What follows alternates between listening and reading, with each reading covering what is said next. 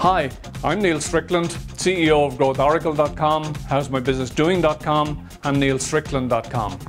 For anyone that does not know me yet, I'm a management expert who has developed a range of automated business assessment tools, particularly for business consultants or advisors, as well as for small and medium business owners. This video discusses how to build effective structures in your SME business. When we're setting up a small business, we are often on our own and don't have the luxury of delegating tasks or building functional or operational structures that support the business.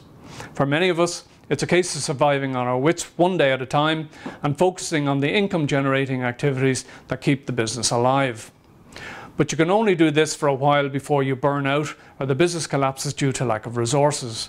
So why would anyone want to take on the risk of starting their own business? Some of us go into business because we have a great idea. Others do it because they don't want to work for someone else or in the corporate world. And there's some of us that do it simply because we have few of any other options.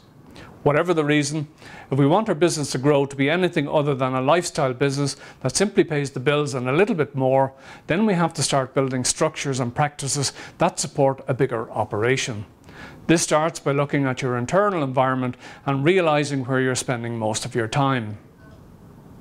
In the longer version of this piece, I've used a mind map to describe one possible configuration of the core functions within a business and some of the activities or practices that could be happening in each function.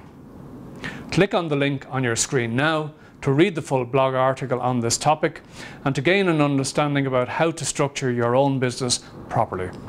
Why not also subscribe to the blog so that you can automatically receive free weekly tips and updates from me on issues affecting small and medium businesses.